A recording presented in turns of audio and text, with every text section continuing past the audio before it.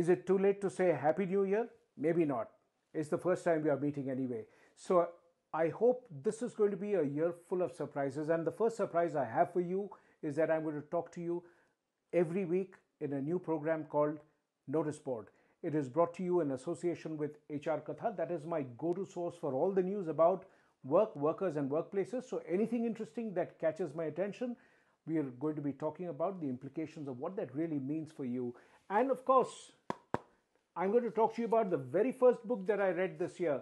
This is the book that I read, but I'm going to talk to you about it at a later point of time in that program. I'm going to also tell you about the interesting places that I'm visiting, the kind of um, people I'm meeting, and all the music that I'm listening to, the movies that I'm watching, everything.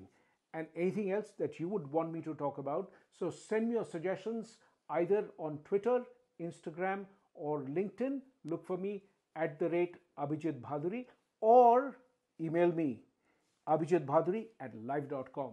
Anything that you can reach me, just drop your ideas. Look forward to that and don't forget to add the hashtag noticeboard. Coming to you soon, very soon. Notice board.